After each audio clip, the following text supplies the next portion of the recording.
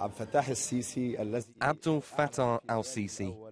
who claimed in his first statement that he had to remove the elected president in a military coup to escape a national conflict and civil war, is now calling for a civil war himself to protect this military coup. He is proving that he is the actual ruler of the country and that the president, his vice president, and the government do not hold any power.